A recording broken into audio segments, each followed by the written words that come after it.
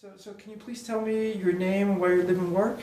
Um, yeah, George Burns, and uh, in West Perth, Western Australia. Yeah, and, and what do you do? Um, a clinical psychologist, um, adjunct professor at uh, Cairnmillar Institute in Melbourne, uh, adjunct senior lecturer at Edith Cowan University, but um, I've recently stepped back from consulting clients to focus my attentions mainly onto to writing, uh, to teaching and to doing volunteer work, so in, in, in clinical psychology. So they're the three areas that I'm, I'm now focusing on. Right, right. And, and, and what's your background for, for doing that?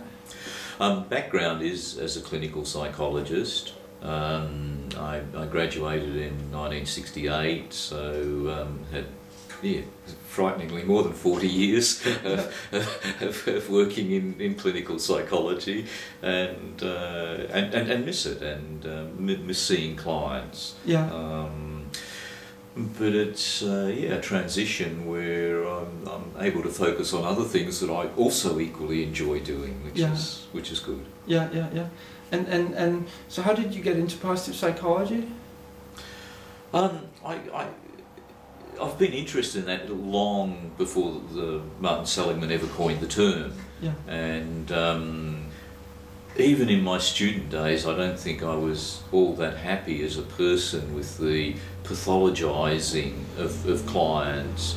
Um, the diagnostic labelling of them. I mean, it was very interesting. I, I was brought up in a school that was uh, very psychodynamic actually, uh, but somehow that never fitted. And, and when I graduated, I, I graduated from Melbourne University. I, I went to Tasmania, my first job as a psychologist, and there I was dealing with people that were practical people. They were farmers, they were uh, small business people, they were shop attendants, they were housewives, they were um, people who were facing practical situations in life and wanted practical solutions. And I found that my skills in offering four years of psychoanalysis didn't match with the clients that I had. So I, I started to search through a whole variety of uh, theories and therapeutic approaches.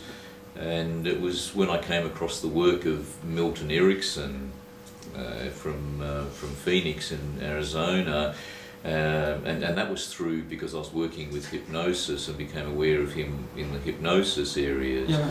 But Erickson, who I, who I really think was the father of positive psychology, even though the coin wasn't developed then. I mean, he, he didn't take the research, he was research oriented, but not the research that we see coming out of Seligman's work and, and, and, and you know, the initial now terms of positive psych. But Erickson was the first person that really legitimised for me that happiness could be a, a therapeutic goal. Yeah, yeah. Um, he was somebody who looked at clients' resources. He he didn't say what was wrong with this person. In in fact, in my last book, uh, Happiness, Healing, Enhancement, his uh, daughter wrote a chapter for that, and she entitled her chapter "What's Right with Him," yeah, and, and not what's wrong with this Yeah, client, yeah. but what's right with this person. yeah.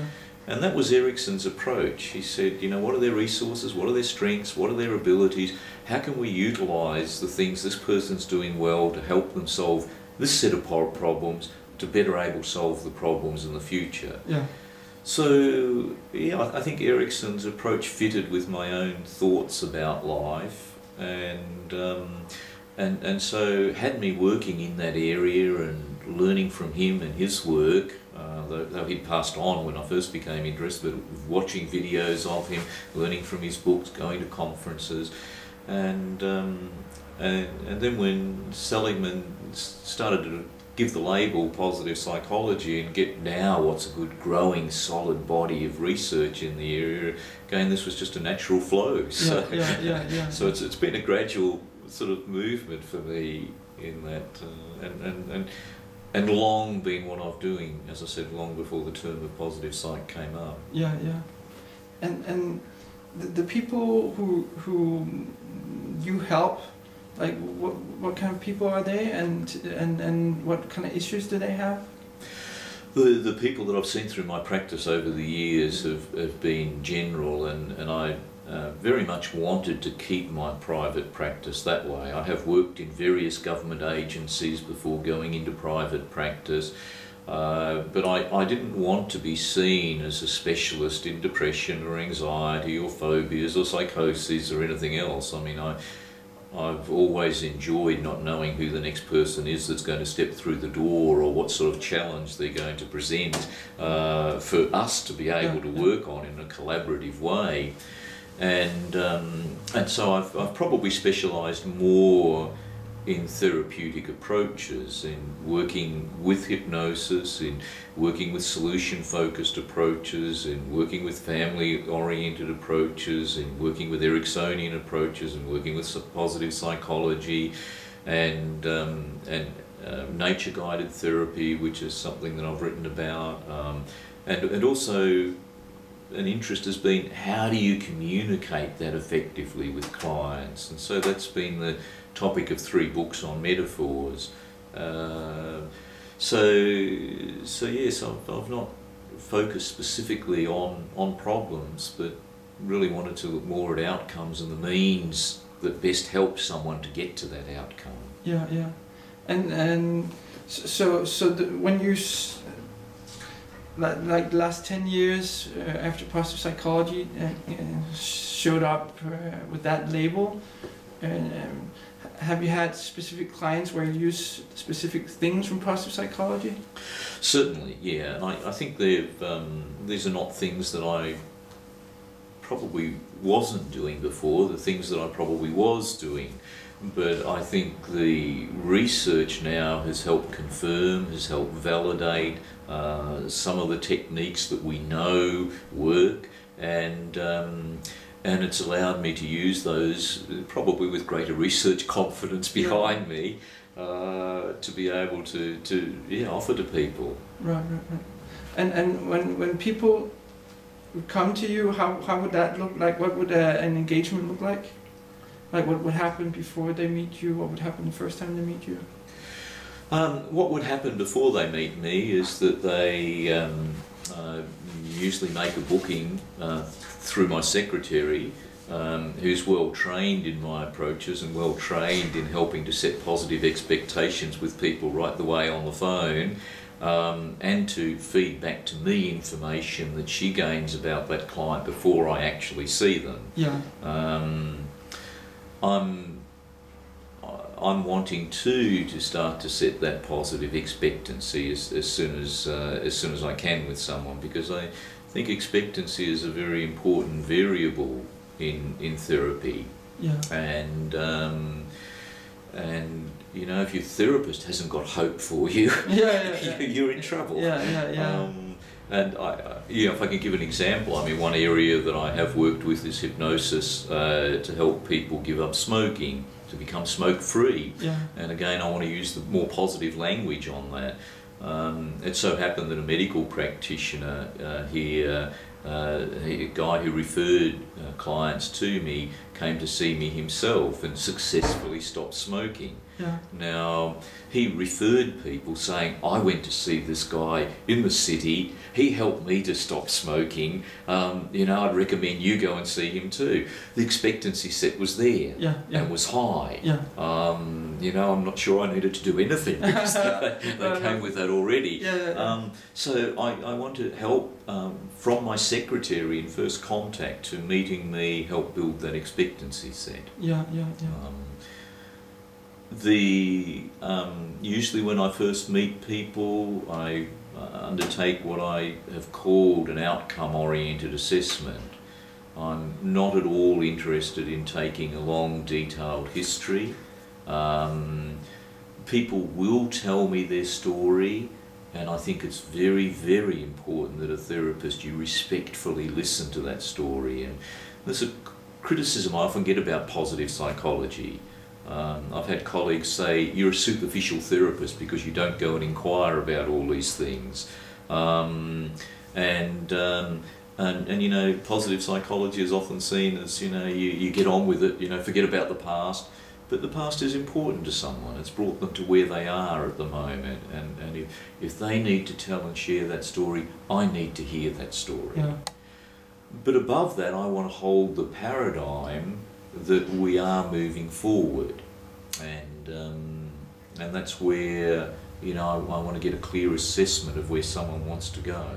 Yeah. So what, what would happen after you've done this uh, assessment? After, after I've got the assessment of where a person wants to go, I want to explore with that person then the, the best strategies, the best means. I mean, this fits in a bit with hope theory. Yeah. You know, we let's define the goal. Let's see where someone wants to go.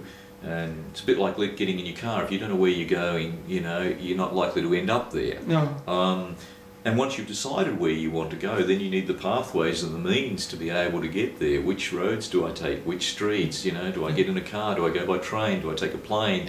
Um, so the next step to me in therapy is really helping a person to find those pathways. What are the strategies? What are the inter interventions? What are the techniques that's going to be helpful for this person to reach this specific goal? And then to look at building the agency, the um, not not really motivation. I don't quite like that word, but but the tapping into their resources that they can utilise to empower them to get to that point. Yeah. So that's the um, broad overall picture of where, where therapy sessions would go. And what what would happen between the sessions? Um, I invariably give people homework assignments to work on. Um, and um, and I, I think that this is important for, for many reasons. Um, you know, we can sit and we can talk, as the old saying is, till the cows come home. Um, unless that's applied and put into practice, it doesn't necessarily make a difference. No. So I want to give people things that they can work on uh, between now and the next time they come to see me. Um, I'm very thorough on wanting to check out when they come back exactly what they've done. I don't want to let that assignment, that homework assignment just slide by. Mm. We need to pick it up. We need to make sure that somebody's put it into practice. And if they haven't, um, you know, what else might be helpful if that hasn't? Um, if what they've learnt from it, what they've gained from it, how can we build on that? Yeah. So uh, those between session uh, exercises, I think, are very important things. Yeah. So yeah, change is not um, doesn't happen. I just just necessarily through a conversation. Change may happen through a conversation, um, but like any learning experience that we have, and therapy is about learning, about learning new ways to deal with old issues. Yeah. Um, if it is a learning experience, uh, I want to facilitate that learning for my client as much as possible. Yeah. Yeah. And and how would you end an engagement? Um, when um, you know, probably when we've got to a point that that person is saying, "I, don't need to see you anymore," you know, and um, and and let me say, my work is usually very brief. Uh, when I was seeing clients, the average number of sessions I had with a client was just on four sessions, and I've kept stats over the whole of my practice on the number of people that I've seen, how many sessions I've had with them, and um, uh, and so then you go don't build up dependency problems or um, or that, that that are there. I'm wanting to empower people to get on and work as much as they can. Yeah. Um, I want to know, let them know too that the door is open if they want to come back, so they don't feel that they're thrown out and on their own. Yeah. Yeah. Yeah. yeah. Um, but the option is there if, if they, they want to do some more work, of course. I mean, you know, that's, that's uh, how long's a piece of string? I mean, you never know how long therapy is going to be for. no. Um, but uh, yeah, when somebody is feeling, hey, I can manage this, or I'm doing much better at this than I was, uh, I want to really encourage that, really empower that, and, and encourage that person keeps going on that themselves. Yeah. Yeah. You, you mentioned the assessment, uh, the outcome-based assessment. Mhm. C- can you say something more about that? Yes, I've, um, as I said, I don't want to take a history at all. You know, you will get some history from what your client says, but you know, that's where a person's been, and, and what really is important is where a person wants to go.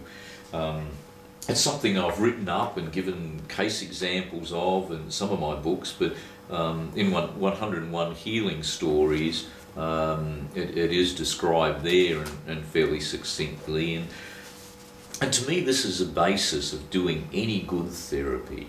of really getting clear definitions of where your client wants to go so that you've got good approach goals for them. Yeah. And um, the first step um, is, is, I think, for you as a therapist to have an outcome oriented approach yourself. Um, and this is a positive psychology approach. Um, have the approach of looking where you're going, not where you, you, you or your client has been. Um, again, you're going to get information about where they are at the moment, but the, the future is where we're all going. Yeah. And so I think it's good to have that outcome oriented approach, the paradigm of positive psychology. Um, closely related with that too is, is having an outcome oriented assumption. And that is to assume that my client can change situations, circumstances, attitudes, behaviours, feelings, emotions from where they are at the moment toward where they want to be. Yeah. Um, to have that a realistic assumption that an outcome is indeed possible. And I say very realistically there that you know we need to match goals in reality and not in fantasy. Yeah, yeah. Um, but I, I, I, as a therapist, want to have that assumption because if I've got hope and positive expectations for my client, I think that's going to facilitate them having better levels of hope. And again, there's there's research in these areas to show that that's so. Yeah. Um, given that approach and that assumption, then um, the the next step is really to examine the goal. And and let's say we've got someone who's depressed. If you if you ask them what do you want to achieve out of therapy, they may well come up with a, a, a goal that says, well, I, I don't want to be depressed anymore. Yeah. Um, they'll often frame that in the negative, and that's very understandable. You know, you have a stone in your shoe, um, you want to take your shoe off and stoke, shake the stone out. Yeah, yeah. You, yeah. you want to get rid of the negative, and um, and so I'll, I'd want to shape that with a person to see, well, if that's if you don't want to be feeling that way, if you don't want to be feeling depressed, how do you want to be feeling? Yeah. And when you ask a question like that, people will often come back with a global type response. Yeah. I want to feel happier. Um, but for you as a therapist to aim with them and, and for them as a client to have that, it's like um, having a whole blank wall in front of you and say throw a dart at it and hope you hit a target there that Yeah. is somewhere on the wall. Yeah. Um, it's too big, it's too diffuse. So I, I, I really want to break that down. Yeah. Um, what's the specifics? What are the specific goals that you want to achieve? How do you want to feel? How do you want to think? How do you want to be behaving that's different from what you have been? And you know, there are many things with depression. It may be cognition, it may be affect, it may be behaviour, there may be all of these. Um, and break it down, get it specific, get it more specific. Because if you get it very specific, um, then you've got a target you can move into and you can start to work with. Yeah. And even if a person just practices at changing one little thought they've been having or doing something slightly different during the week, you start to make some forward movement. Yeah. And as soon as you get that forward movement, um, then I think it's very important to um, to start to validate and ratify that. Um, have an anticipation that your client can take that step forward, and give them plenty of accolades. Pat them on the back. You know, if I see a phobic patient who's frightened to get on an aeroplane and go somewhere, um, and they, they need to be doing that for business, for family reasons, for a mother who's ill and close to dying back in England or something, um, I want to get them to send me a postcard when they got there. Yeah. You know, let me know that this has happened. That helps validate it for them. And I can sit down and write out, I've made the flight. It was scary, it was exciting, it was whatever, but I'm here, I've done it. Yeah. Yeah. You know, so I want to get that validation from Yeah. people. Yeah. Yeah. Often, just simply going through this assessment um, is enough to empower people to start to make the changes for themselves. Yeah. Often, that can be enough in itself. And and the assessment is that a structured interview or how, how does it happen? It's a very stru- semi-structured interview. It's just on those sort of principles, those guides that I've given you there that I've, I've mentioned, and um, of course it's very flexible, and of course it varies with every client you see. Yeah, yeah. It, um, and and you may find that you start with a global goal and get down to specifics, and you come back to something global, and you have to work through that process again. And it doesn't necessarily follow a straight linear path. Right, right. But if you've got these these principles in mind and these core steps for taking that, um, then it's easy to, to flow with it and Yeah. with your client on Yeah, that. yeah. Do you use other types of assessments?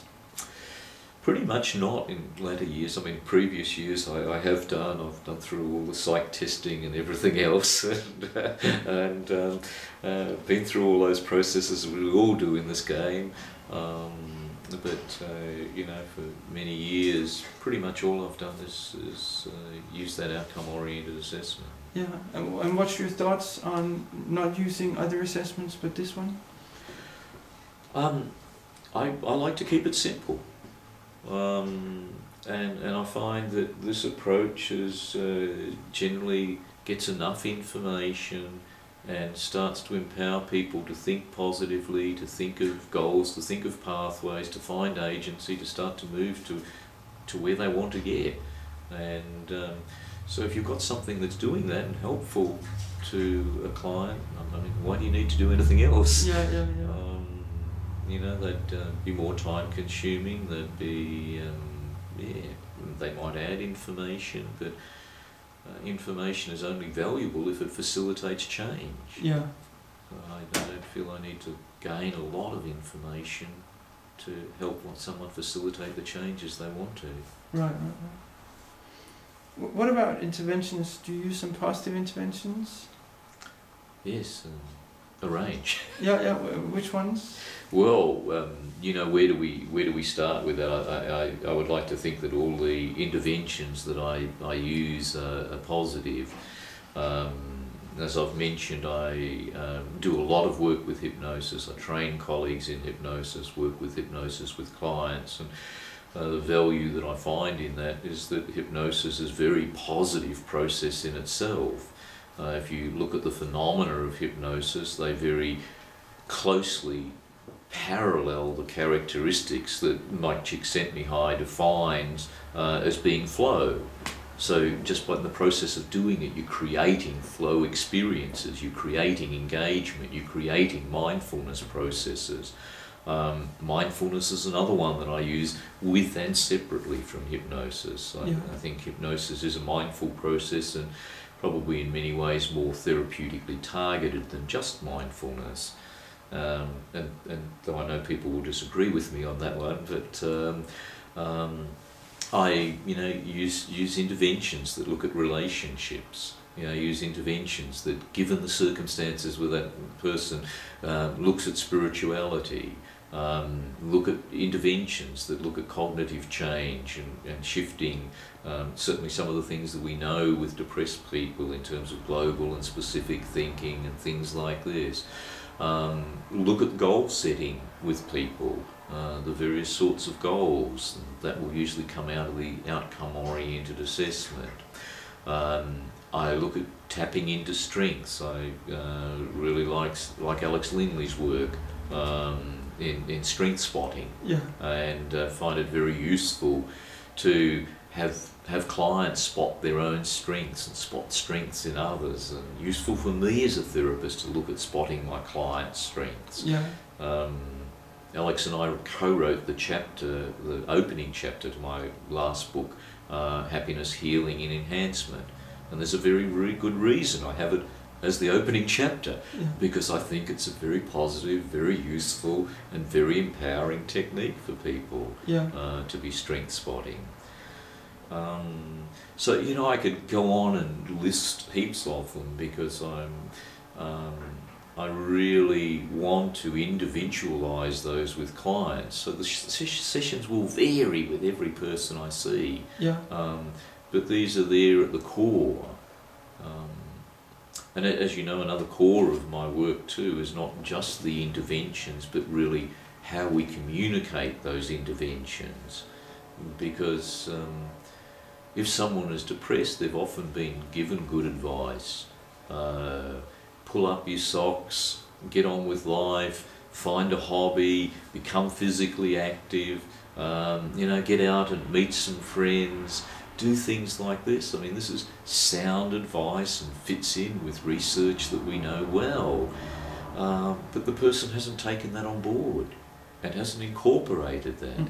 It's not because the techniques are not good and sound, but somehow they've not been communicated to that person in a way that's effective for that person to absorb them, take them on board, and start to put them into practice. Yeah. So a lot of my therapeutic interest uh, has been in the use of suggestion and the use of indirect suggestion and the use of paradoxical suggestion, the use of metaphors and storytelling um, that helps engage a client, join them in their world, in their language, in their styles of communication, to be able to bring through the interventions that we know yeah. can be effective and do work well. Yeah. And so that's the subject of three books on, yeah. on metaphors. Yeah. Um, how do we communicate effectively yeah. the things that we know work? Uh, and to me, that's that's the real art of therapy.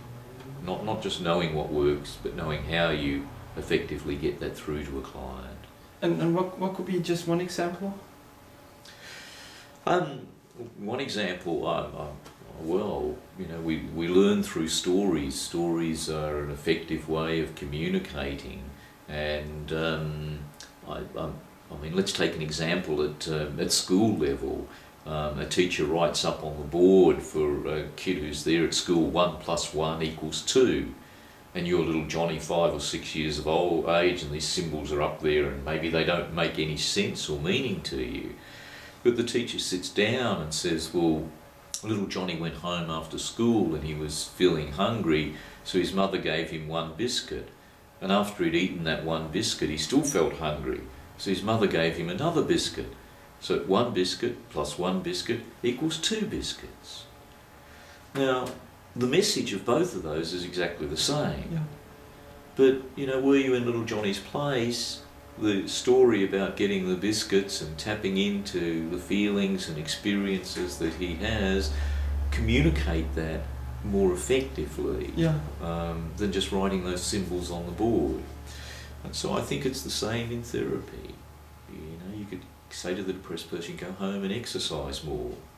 Or you can say, well, you know, I once met another client who was in a very similar situation to you and she tried this and she tried that and she tried this and some of these things worked and some of them didn't and um, you know but give that as a story that perhaps fits into that person's experience. Yeah. And it's going to be easier for them to find their own solution in that. Yeah yeah yeah. I like that yeah and and when do you know which interventions to and if, if I go back to that when do you know which one to use for which client? Or how that's, do you know? That's an interesting question in itself. Um, because you, you never really know until after you've offered it and it works or it doesn't. Right right. And and, and it's only then that you have the feedback.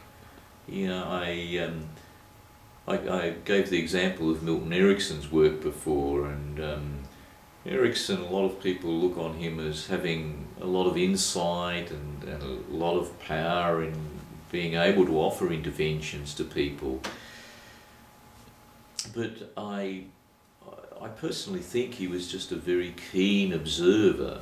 And somebody once asked him what were the three most important variables in therapy, and he said, observe, observe, observe. right Um, watch your client, learn from your client, learn the things that you know are going to be most helpful for them, and you will get that from the outcome-oriented assessment. yeah You know, if somebody says, "Well, I'm likely to be feeling happier," you know, if I had more friends in my life. Well, here's here's a chance to offer some interventions. yeah You know, how do you see you could start to build greater friendships? Yeah and look at the various things to, to be able to do that. Look at John Gottman's work on the sort of things that make relationships effective. How can you start to incorporate those? Can you form an interest club? You know, can you ring an old friend that you haven't before? Can you send a letter of gratitude off to somebody that you appreciate has done something and, and start to renew or build that friendship again?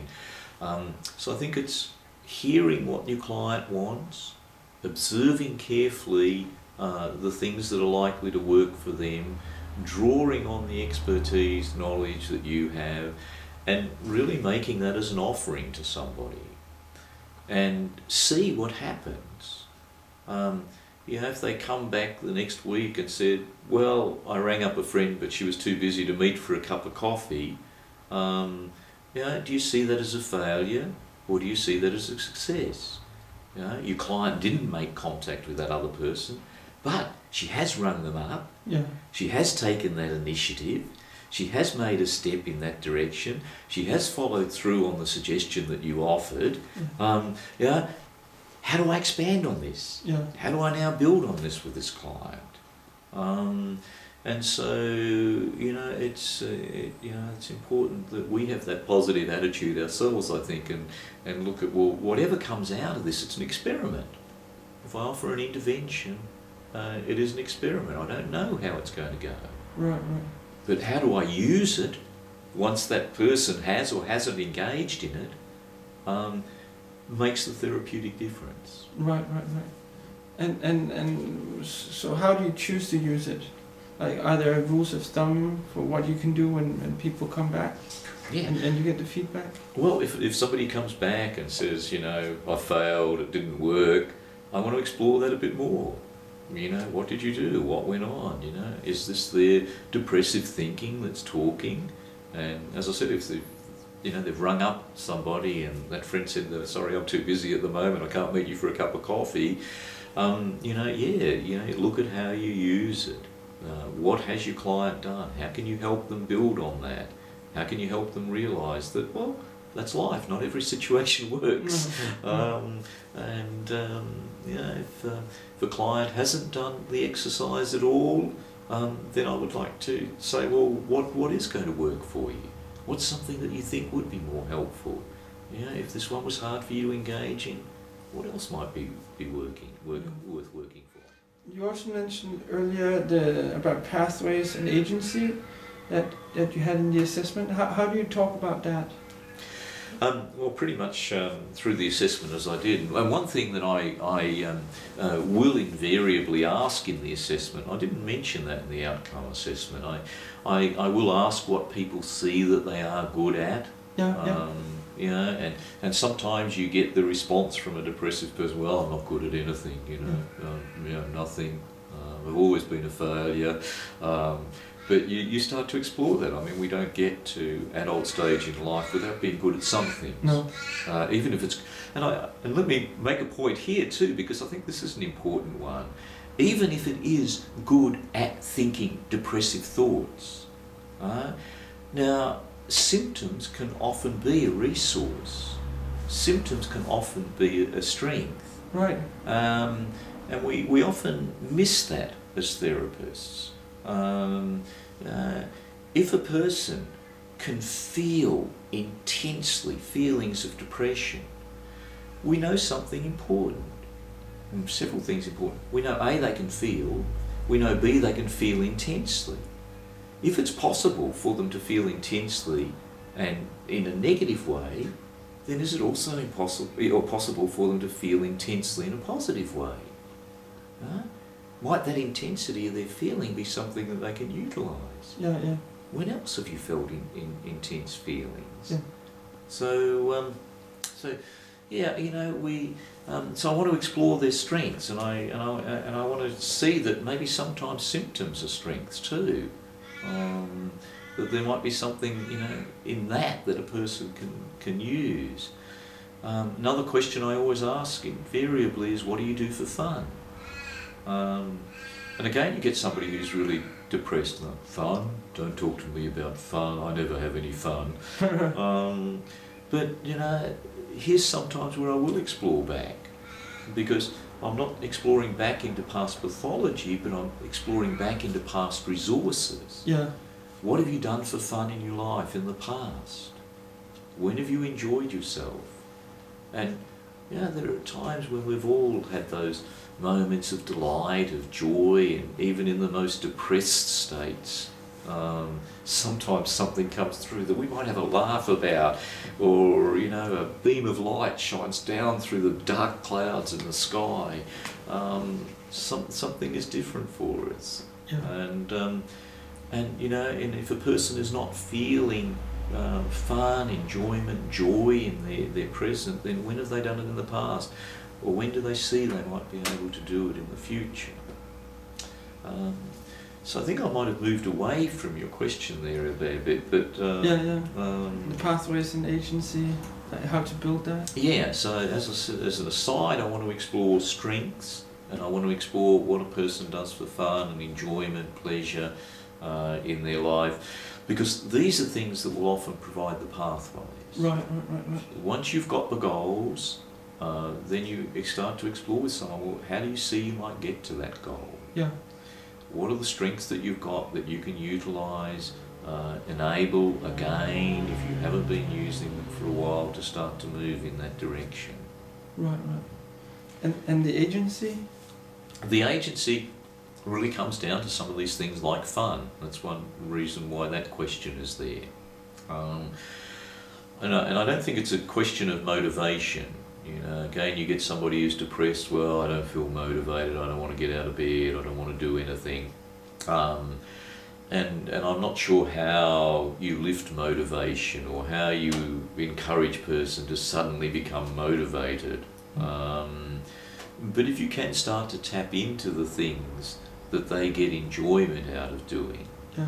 um, is it helpful to give a, um, a, a, case example Yeah, yeah, yeah. Please, there? please. Um, probably one of the most depressed people I ever saw, and, and I've written her case up in my book with her permission, um, Healing with Stories, and um, uh, extremely depressed woman. Um, they at first thought that she was suffering dementia and sent her to see a neurologist who um, who thought that it might be depression masking, a 50 year old woman, depression masking as, as dementia, um, and uh, so referred her to my practice. Um, she actually went to see one of my associates who does do a lot of psychometric testing. Um, uh, found that there was nothing cognitively wrong, no evidence of dementia whatsoever. Found she rated extremely high on the depre- uh, Beck Depression Inventory, and uh, so referred her to me for, for therapy.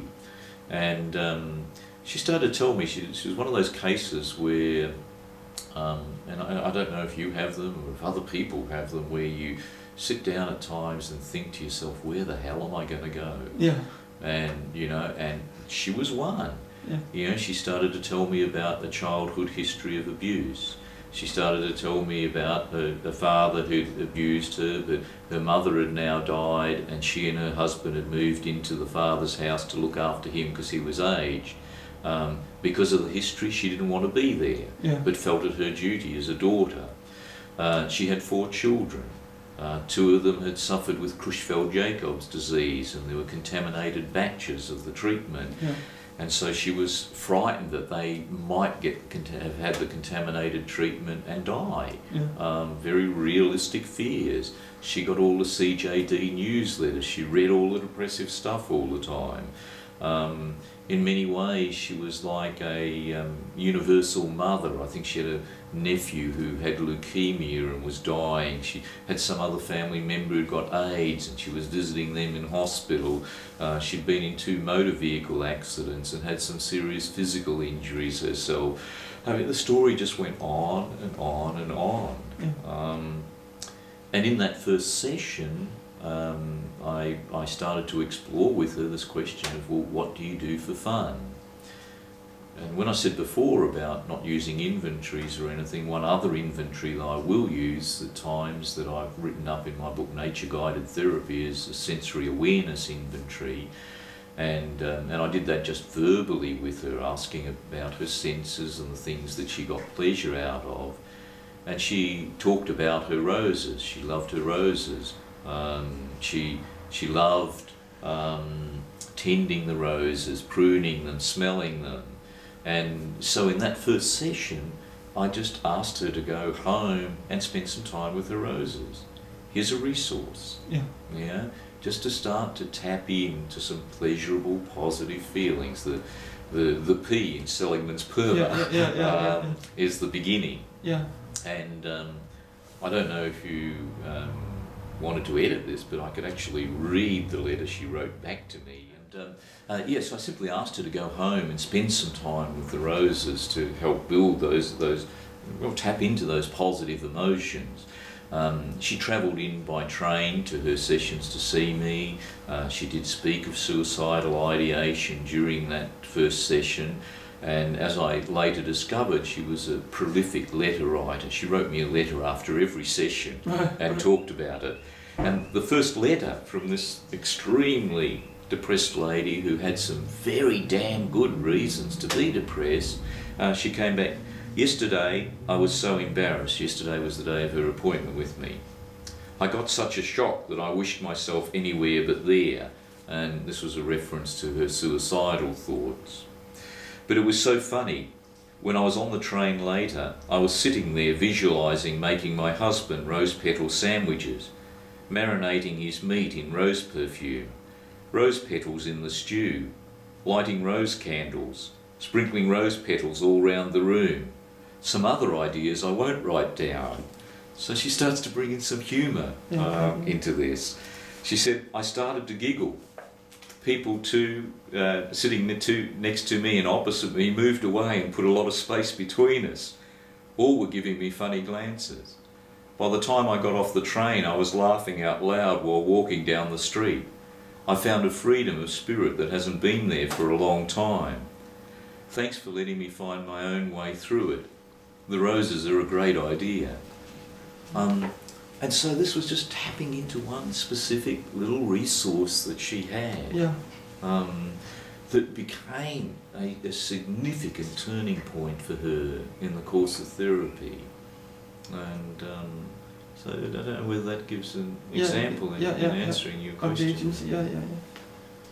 What about uh, sharing knowledge? Uh, do you share knowledge with clients? Like you, you, you said you shared a story of a previous client. Hmm And, um, and, and, and sharing knowledge can be in stories too. Yeah, I recently got back from this conference in America. I mean, that always holds a lot of weight. and an expert there that I went to was talking just about the sort of things you're describing to me. And um, he was saying that. Dot, dot, dot, dot, dot. Yeah. Um, so yes, I, I will in metaphors and in stories uh, share that sort of information, and and this depends on your client too, of course. Um, I, I mean, if you've got a client who's a professional person and has studied at university, sometimes you can just come straight out and say the research shows that you know if you get out and do five minutes exercise each day, you're going to feel better. Yeah. Um, and some people are happy to take that on board. If that works, great. Um, so yes, I, I certainly share um, share the knowledge that we have as professionals. I, um, you know, I want to work collaboratively with my clients. I want that to be an interactive process between the two of us helping to move towards their goal.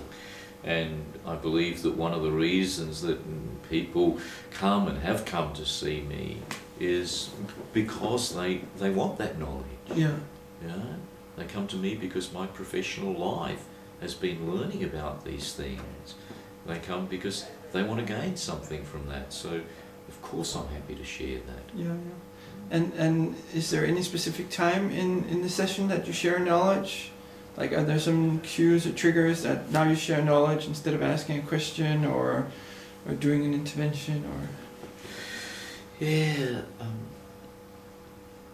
Milton Erickson made many famous quotes, and one quote that I really like of his is that for every new client I see, I develop a new theory. Right. Right.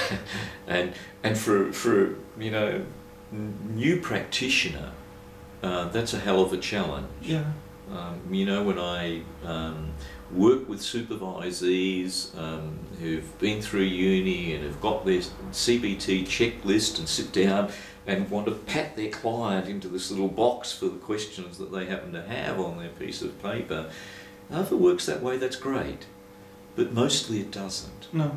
Um, and so I, I don't think there are hard and fast rules to answer this question for Mm. you. I, I, I hate to say it's clinical intuition because that's diffuse, it's not scientific, it doesn't give other people clear answers, but I think in some ways it comes down to that. You know, if you've got a client who's, who's cognitive and trained in dealing with things cognitively, then yes, here's a good opportunity to offer cognitive information. Yeah. You know, if you've got somebody who's acting more out of a feeling or an emotional state, uh, I think the cognitive information is still very important. But you may need to be relating to that person more at that emotional level, Yeah. uh, at least initially, Yeah. to be able to get the information through. Yeah. If you've got someone having difficulty managing their behavioural problems, well, then maybe, you know, it's not a time to talk research, but to offer exercises that can help see some shift in behaviour can take place. Yeah. So, um, yeah, it really is a matter of seeing that client individually. What are the needs of this client? What are the things that I've got up my sleeve as a practitioner that can fit into that level of client? Yeah. um, and, um, and and be beneficial for them. And so, um, so yeah, I don't think there's a particular time, but you you look for those cues because therapy is really about joining your client. Yeah. You need to step alongside them. You need to walk with them for a while, and and once you've done that, then you can start to quicken the pace or slow the pace or turn the direction uh, a bit. Yeah. Um, but it really is joining that, that person in their world and their experiences. And, um, can I give it a little example? I organised a conference here in Perth some years ago, and uh, I invited different practitioners from different therapeutic modalities to give a clinical demonstration, to talk about their, their, their model of therapy, and then to give a live demonstration of working with that. Um, and one of my colleagues said uh, in, in her presentation, she said, This model of therapy is the only model I've ever learned and the only one I've ever needed. Now, I shuddered at that. Um, because it's like saying, I've got one map of the world and everyone else has to follow it Yeah. to me that was extremely frightening. Um, and I don't think that we can think that my CBT thoughts, my positive psych thoughts, my whatever model it might be, is going to work for every person I see. Mm. It certainly isn't. Mm. Um, and that's why I say, as a therapist, I think it's really important to join the person in their world, see how they see the world, see the models that they're operating out of. Yeah. And my art has to be to adapt my knowledge, my skills, my information that somehow will be incorporated into their world and help them make a difference in that world. Yeah. Um, so, um, so yeah, I think that, that's probably the basis. I think. Can, can you say something more about adapting? Yeah, I need to be flexible. Um, you know, I need to change. I need to be aware that my views are not the only views and, and, and the right views. Um, but uh, yeah, it's a matter of assessing my client as to where they are and, and stepping into that world. Yeah. And, and stepping into the world, what, what would that, what could that look like? Like, how could you do that? Um, I, I, I once saw a guy who was a um, had spent all his life in the navy uh, in a um, fairly subordinate role. He was used to being told things, and when he was told things, he did them. You know, that's the way it worked. I mean, for me to use elaborate metaphors and things like that with this guy would not have worked. Mm-mm. My therapy with him was to be like I was a naval officer and tell him what to do. You go home, do this, do it this way, do it at this time, come back, tell me about it next week. And he did it. okay, yeah. Um, does that work with everyone? Probably 99.9% of people no. Mm.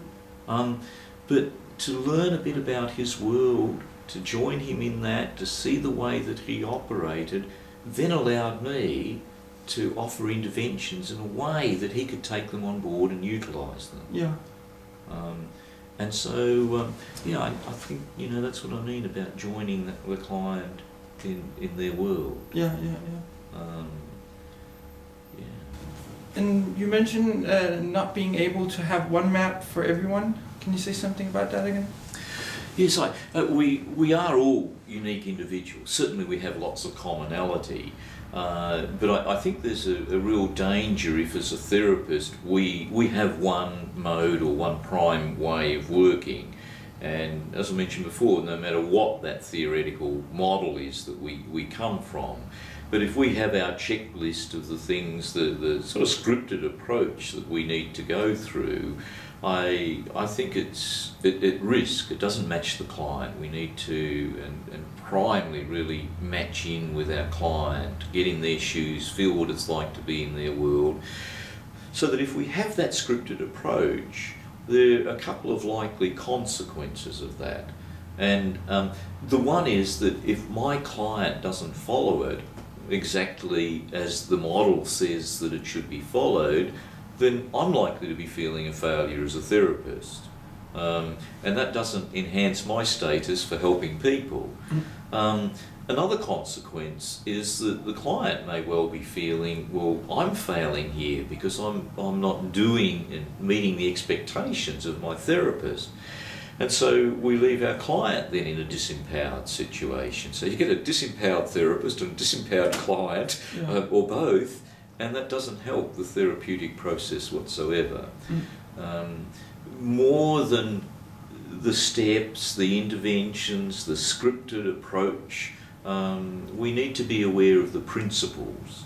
We need to operate out of those principles. And the basic principle of positive psychology is that paradigm shift from looking at what's wrong to what's right. Yeah. Um, from looking at dysfunction to function to strengths and resources.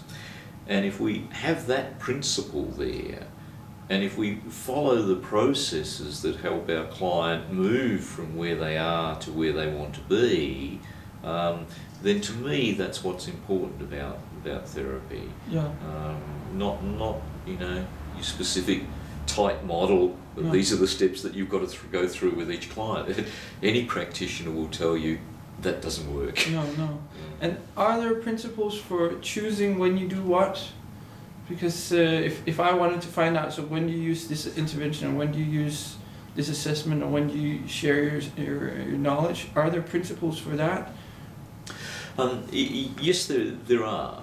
Um, and um, you know, therapy is so wide and so broad, I'm not sure where to start on this one. But um, the principles are if we come back to somebody who's depressed, look for the specific goals where they want to go. Look, look what it is that we're, they're wanting to change. Um, you know, is it in their cognition?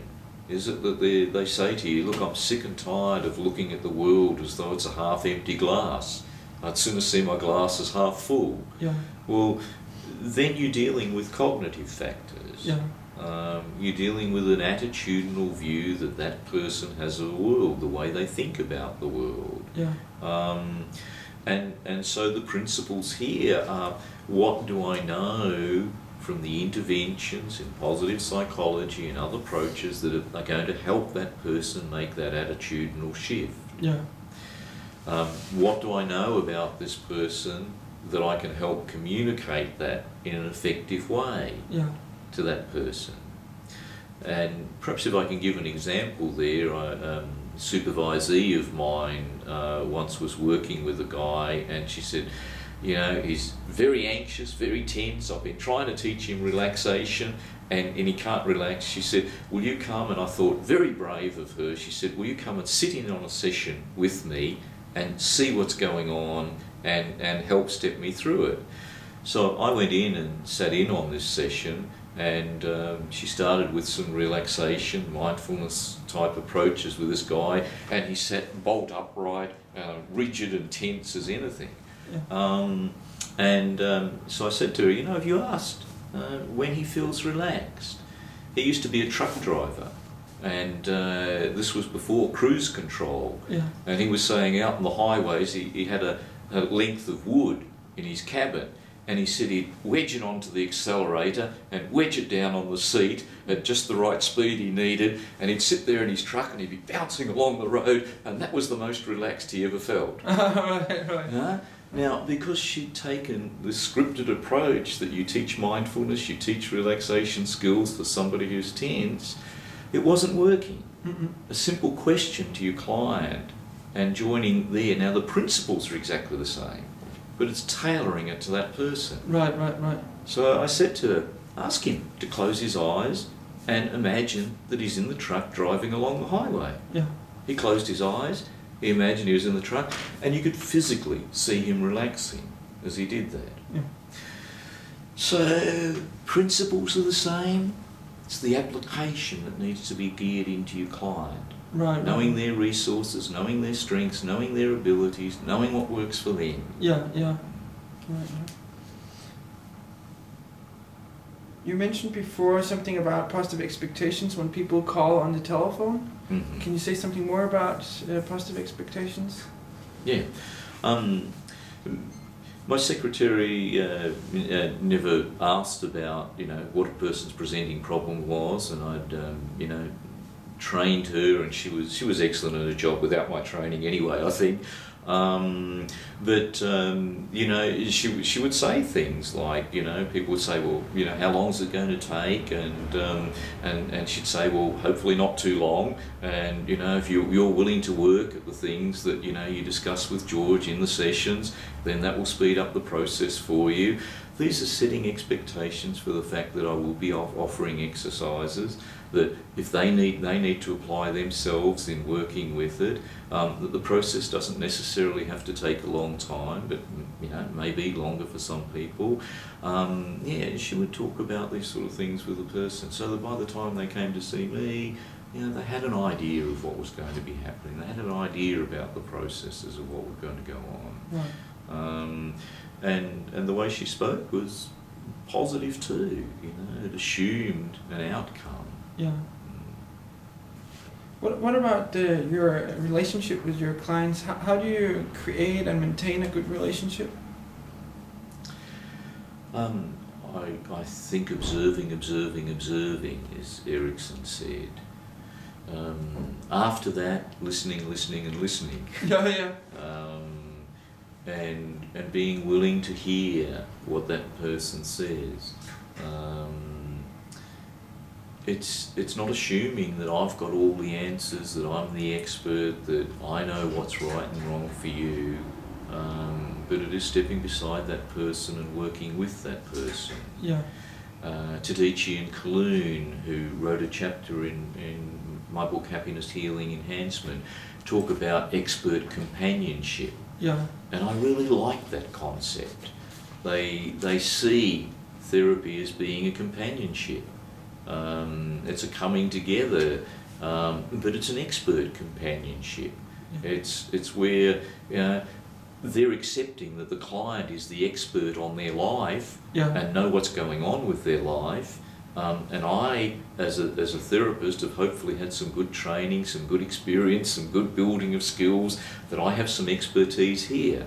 How can the two of us bring our expertise together Yeah. to work towards the common goal that we have in that therapy session? Yeah.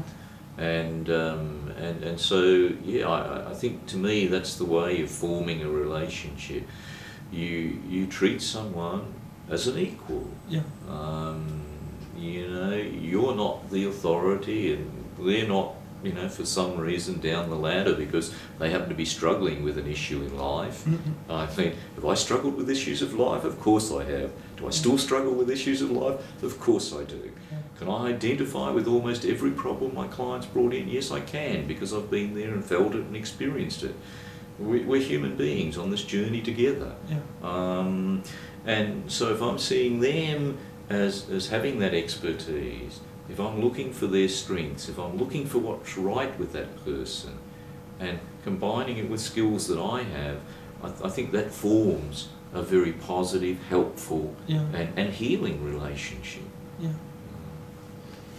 What What about um the client's engagement in, in working towards the, their goals between the sessions? Mm. You mentioned homework. Do you do other things to help them stay engaged?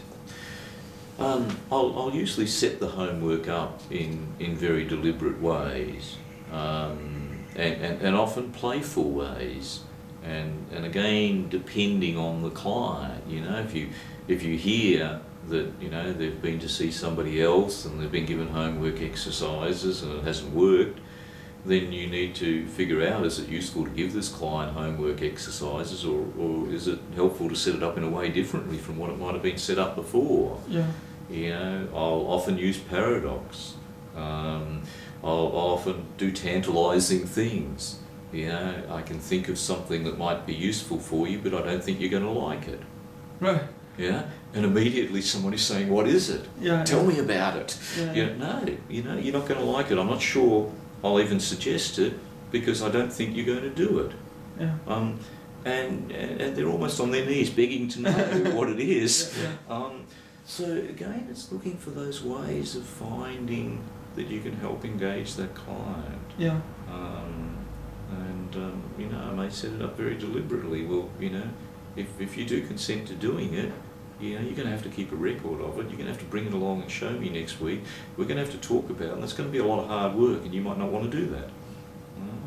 Um, and um, so, it's, yeah, I don't want to use strategies like that that are based on just principles of suggestion that you, you learn through hypnosis, um, ways of communicating. Yeah. And, and what do your clients, or what have they told you has been most beneficial for them? Again, this is very individual. you know.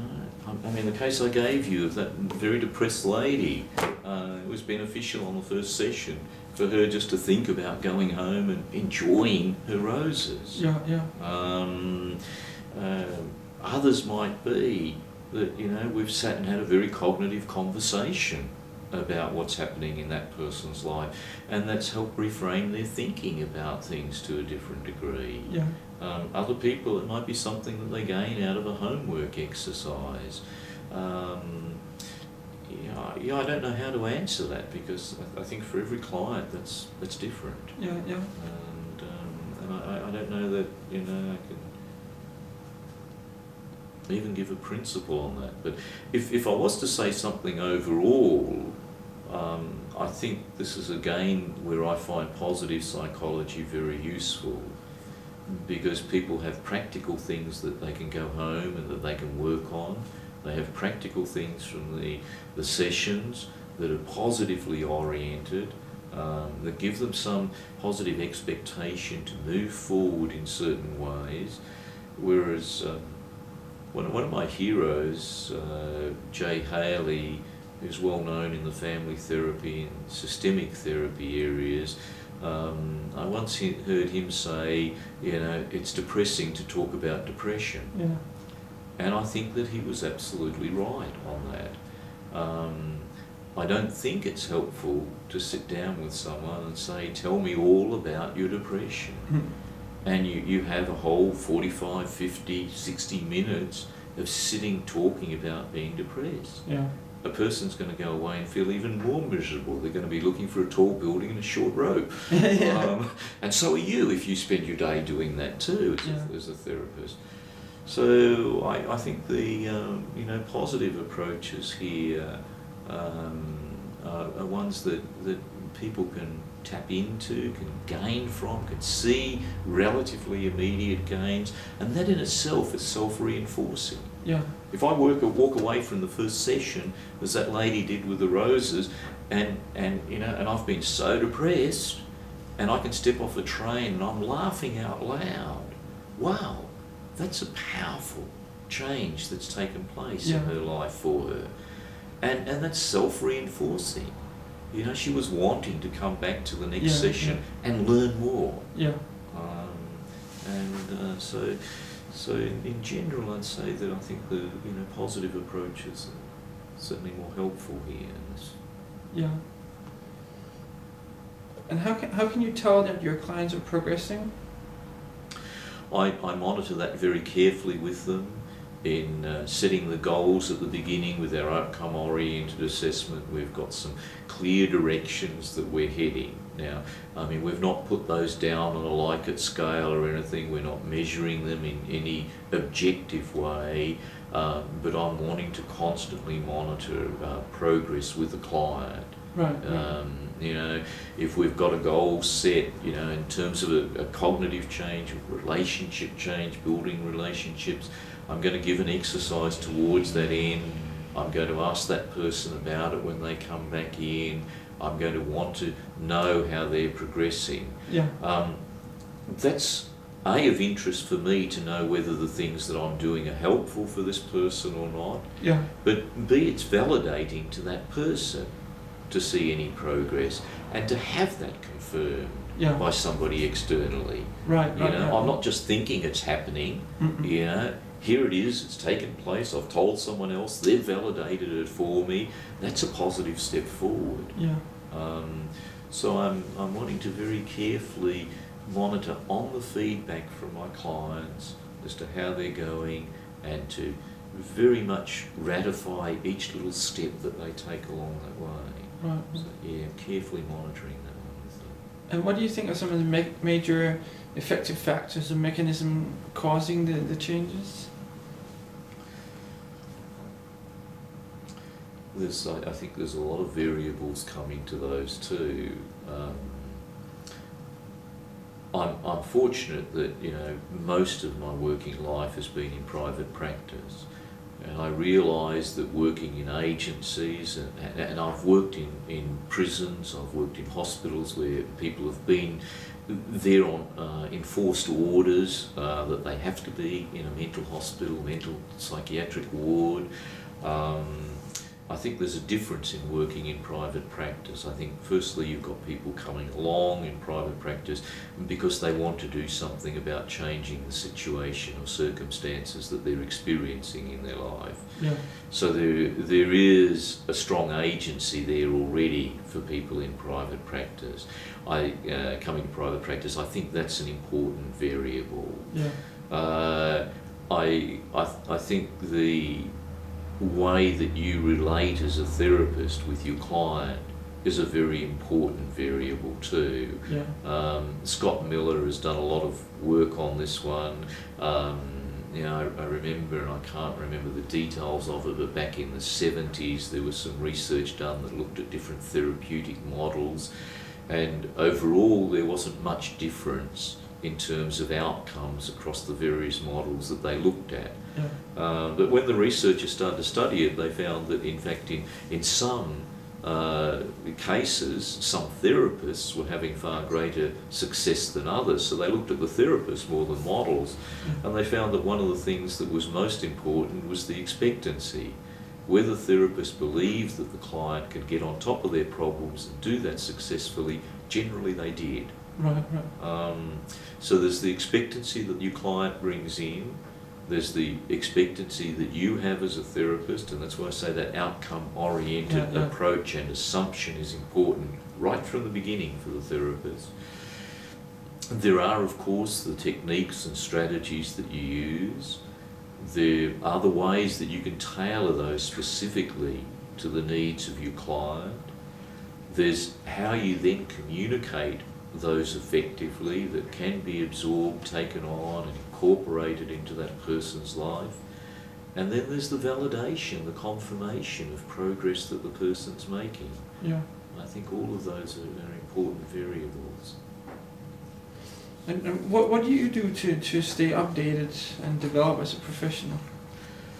Uh, it's, uh, it's been a long mission of mine, even from my early days in the career, my career, I thought that, um, you know, if I'm going to know about what I'm doing, then I really need to sit at the feet of the masters. Yeah. Um, and so I've I have taken myself around the world to conferences, to workshops, to um, meet my gurus of the profession, uh, to personally get to know them, to learn from them. Uh, I read the journals, I subscribe to journals, I keep up with journals, I attend conferences, I present at conferences, I teach around the world. I have constantly learned from my client. There's hardly a client I've seen, I don't think, that I haven't learned something from. And, Mm. and in fact, I've said before that, um, you know, far better than a whole library of psychological texts is your clients. Yeah. They will teach you far more than you'll ever learn out of a textbook. Even the ones I've written, because they're, they're your most important learning source. Yeah, yeah. Um, and um, yeah, yeah, I engage in dialogue. I keep email correspondence going with colleagues around the world. Um, um, yeah, I, I teach other colleagues, and in teaching, you learn. Yeah. Teaching is a two-way process. yeah. Um, so yeah, it's it's very important that uh, that you know I keep myself up to date for, for my interests, for uh, clients that I have seen, and now for the teaching that I do and the people that I supervise. Um, that's imperative. Yeah, yeah. And the way that you're working, if you had no knowledge of positive psychology, would, would it would you work the same way or a different way? Yeah, as I as I said before, the coin, uh, the term was coined. Um, I, I've long been working with positive approaches. Yeah. Um, and um, would I be doing? I think I, I would be overall. I would be doing much the same. I think that what positive psychology has done has validated for me uh, some of the evidence, some of the research. It's confirmed things. It's opened up new opportunities too, and you know, introduced me to new ideas. And I want to hasten to add that one. Um, but I think overall, much the same. Yeah. And I think at this point too, it, it's probably interesting to say that though we use that term positive psychology, I don't particularly like it. Mhm. Um, because as soon as you say positive, it assumes that there are a negative, or there is a negative, and, and, and that may be true. I think there are negative approaches to therapy. I think there are therapies that are not helpful. Um, and, and so, but it tends to assume that this is the only positive approach too, which I don't think is so. Mm. Um, Erickson's approaches, solution-focused approaches, family therapy uh, focused approaches, a, a, a lot, um, narrative therapy approaches, a lot of approaches to psychology have taken a very positive orientation and do take a positive orientation. So positive psychology is not the only positive one. Mhm. And, and in my work, um, the sort of questions out of solution focused work come in too because they are positive. Yeah. Um, and, um, and, and yeah, I, I, I just, I don't think it's helpful, like I don't think it's helpful to see emotions as positive and negative either Mhm. because their, their emotions like grief might be not a good feeling. Um, it, it may not be considered a positive emotion to be grieving, but it may be a very helpful process of adjusting for somebody. Yeah. Um, so, and you know, just because I feel anxious at one point, that might feel negative, but my anxiety might protect me from being in a life threatening situation. Yeah. So Yeah. that's positive, even though the, the emotion isn't. Yeah. Um, so I, I do have some hesitation about the, the term positive psychology. Yeah. I, I, I use it because we mostly use it, but um, I think there are a lot of other approaches, a lot of other approaches that predate the naming of positive psychology, and um, and and yes, I have been working in those ways and, and would be similarly uh, doing much the same, though much more informed now, Yeah. and and with some new strategies up my sleeve too. Right. Yeah. What about uh, nature-guided therapy? I, I have a question about things we have not talked about, Mhm. and I know you do that. Can you say something about that? Yeah, Nature Guided Therapy is, is one of my other books, my uh, second book in, in fact, and um, and and, I, and to me this fits very much into the realm of positive psychology too, and and probably dates back. I, I just know in my own childhood that you know things were getting on top of me to go for a walk along the beach or take my dog out for a walk or do something like that and get away from it, uh, I generally came back feeling better. And uh, I started to look at the research of uh, that has mostly come out of areas that are not in the field of psychology, surprisingly out of social geography, out of architecture, um, out of anthropology, um, some environmental and eco psychology, but uh, research that shows that, that uh, people in hospitals, for example, where they look out onto a garden instead of internally onto a brick wall or internally into the water, out onto a brick wall, people heal quicker, get discharged quicker, have less pain killing medication, and rated more cooperative by staff. And um, so I could go on with a whole lot of research in this area, but contact with nature seems to enhance our physical well-being. We're healthier when we're in contact with nature. Variety of reasons, a lot of research there. We're psychologically better. Um, behaviorally, we're better. We engage in less self-destructive behaviors, drinking, smoking, things like that when we're actually in nature. Um, spiritually, we feel better, and one thing out of the positive psychology, we know that having spiritual beliefs uh, help people's levels of happiness.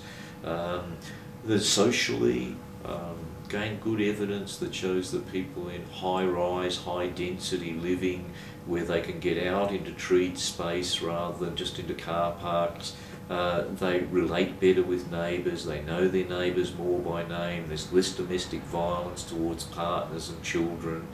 Uh, we know children with ADHD that go out and get lessons outside on the oval or in a park, uh, have better concentration, learn and absorb more than if they're stuck into a classroom. Okay. So uh, there's a, a, lot of solid evidence about it. So my interest uh, has really been, well, how do we incorporate this therapeutically? Yeah. Um, and I mentioned the sensory awareness inventory before that's mentioned in the book that basically gets people to tap in their various senses. What do you enjoy in your sight, your sound, your smell, your taste, your touch, the activities that you do? Yeah. Um, this is a good basis for setting homework exercises for people, just like getting someone to spend time with their roses because you know, those, those came across, though we did this verbally yeah. with the client I mentioned there. Um, roses rated across several categories for her. Here are multiple positive sensory experiences yeah. that someone can have through a nature contact. And um, so I, I want to explore those with, with my clients. What are the things that enhance their sense of well-being? And, and when I've done this, and I've administered thousands of these inventories now, and nearly everything that people list without even any guidance, just fill out the things you enjoy under these senses, they're primarily nature based. Right, right, yeah. This fits our evolutionary history. Yeah. Um, it's rarely that people say watching TV or playing video computer games or, or things, um, but we do. You know, people do, and, and but it, it is rare that these come up. And um, and so, yes, I want to set exercises for people that help engage them uh, in the ways that meet maximum sensory experience for them. Yeah. And that usually is in nature contact type in, in activities. Right. Are there other things we've not talked about that are important to understand the way that you work? Um, I, th I think we've given a fairly good coverage there. And, um, uh, for me, there's a combination of the hypnosis, of nature-guided therapy, of uh, Milton Erickson's work, of positive psychology, of um, using metaphors and looking at the subtlety of communication in therapy. And, and I, I think, for, hopefully for any therapist, you know, you, your most important resource beyond all the knowledge and the information that we have, um, the most important resource that you have is you. Uh, you're the therapist. What are your strengths? What are your skills? How can you maximize those? How can you utilize those to best help the client that you're working with at this moment in your office? And um, and so yeah, I think it's uh, you know the old psychoanalytic approach approaches to you know know thyself by understanding all thy past history. Um, I don't think that's so, but I think if we know our strengths, know the things that we're good at, how we can draw on those as a therapist, I think that one's very important too. So I, want to make that therapist variable Yeah. an important one. Um, it's important for me to be the person that I am in relating with someone. And, uh, and I, yeah, I want to emphasise that as a variable, important variable as well. Yeah, yeah. And, and what advice would you give to other people who would like to start applying some of the research from positive psychology in, in their work?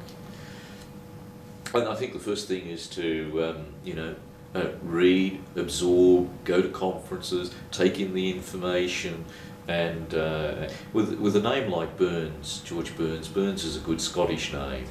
Uh, my Scottish ancestors, a long way back, are known for their frugality, um, and I'm no exception. If I if I pay to travel overseas and go to a conference, I want to bring back something useful. Yeah. Uh, if I go to a workshop and pay to do it, uh, again, I want to bring back something useful. So, I'm, the first person I'm going to sit down with after that conference or that workshop, I'm going to say, what have I learned and how can I incorporate it with this person? How can I use that? So, I think the first thing is to get that knowledge, get that information. Yeah. Um, I think the second thing is really to be aware of your client. Uh, what they're experiencing, what their view, what their map of the world is like. Uh, I think the other thing is to be aware of yourself and know those expertise and see how you can bring in your client's expertise and your expertise to work in a companionable relationship uh, that moves to, to the therapeutic goals. Yeah. Last comments? Uh, anything? If there is one other thing I want to say, it's that um, in, in my latter years I've been realising just what a privileged job it is to be a therapist, a counsellor, or a coach. I don't think it gets any more privileged than having that intimacy with somebody else's life. I don't think it's any more privilege than when somebody sits down with you and maybe with tears in their eyes and says, I've never told anyone this in my life before. I don't think it can get any more privilege than to somehow be a little part of helping make somebody else's life better. Yeah. And positive psychology gives us the, the venue, the means, the processes to be able to do that. Yeah. So, as I reflect back, I think, wow, you know, what a privilege to be so intimately engaged with other people and maybe to be able to offer a little help along the way Yeah, yeah. and get paid for it as a job at the same yeah, time. Yeah, yeah. That's perfect. Are there other things that we haven't talked about that are important? I, I think that we've covered most things, but uh, I, I mean, if um, anyone does want to follow up and look at my work a, a little bit more and uh, my books and sort of teaching and things that I do, uh, then they're welcome to take a look at the website, which is georgeburns, one, one word, dot com, dot au. Right, right. And you also mentioned that you're working on a new book or two books? Yes, working with a, a couple at the moment. Uh, one is um, another metaphors book, and this one more targeted specifically into the positive psychology areas. Um, that's the, the main one that I'm, I'm working with at this point.